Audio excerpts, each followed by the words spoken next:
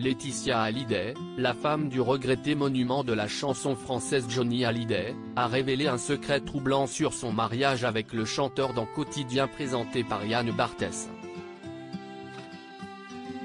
Johnny Hallyday, une des plus grandes icônes de la chanson française, s'est éteint à 74 ans le 5 décembre 2017 des suites d'un cancer du poumon dans sa maison de Marne-la-Coquette, laissant derrière lui sa femme Laetitia et ses quatre enfants. Depuis, de nombreux hommages ont été faits au rocker, notamment une série documentaire Johnny par Johnny composée de 5 épisodes de 30 minutes sortie le 29 mars 2022 sur Netflix, sur laquelle Laetitia n'a pas travaillé. Et les fans du chanteur découvriront sur M6, le 8 décembre prochain, un nouveau documentaire d'un H30 dans lequel la veuve de Johnny prendra la parole pour raconter leur histoire d'amour. Laetitia Hallyday a d'ailleurs révélé ce soir un premier secret sur son mariage avec le chanteur pendant son passage dans l'émission Quotidien. Il détestait profondément, c'était horrible pour lui Laetitia Hallyday a fait une confidence sur sa vie privée avec son mari, je n'ai jamais pu l'appeler Johnny mon mari. Je l'appelais autrement. J'arrive à l'appeler Johnny aujourd'hui. Elle a également expliqué que le chanteur ne supportait pas qu'elle l'appelle par son prénom, il détestait profondément, c'était horrible pour lui que je l'appelle comme ça. J'ai essayé après. Je l'appelais mon homme, mon amoureux, mais il est parti et j'arrive à l'appeler Johnny aujourd'hui a-t-elle expliqué avec émotion.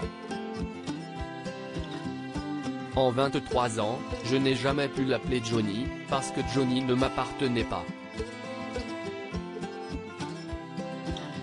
Il a toujours partagé sa vie avec ses fans, avec les Français, avec son public. Ça a parfois été difficile, mais il ne m'a pas laissé le choix. Laetitia Hallyday est aussi revenue au cours de l'émission sur sa médiatisation et celle de son couple pendant des années, ça a parfois été difficile, mais il ne m'a pas laissé le choix. C'était lui aussi qui me mettait en avant, c'était sa vie, il a toujours tout partagé. Je ne suis pas sa première femme, il en a eu d'autres avant moi. Je suis peut-être celle qui a tenu le plus longtemps, mais je n'aille pas choisi. La veuve savait tout de même ce qu'il attendait en épousant le rocker, je n'ai pas épousé un homme ordinaire. J'ai épousé ce destin pas ordinaire non plus, et j'ai appris à vivre avec, à me protéger. J'ai appris à ce que certaines choses ne m'atteignent pas.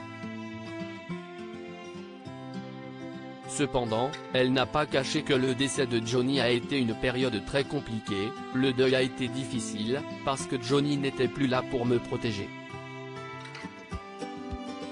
À lire aussi Tu le vires ou je lui pète la gueule. Johnny Hallyday furieux contre Laurent Gérard, Bernard Montiel et Michel Drucker balancent sur leur brouille, audio.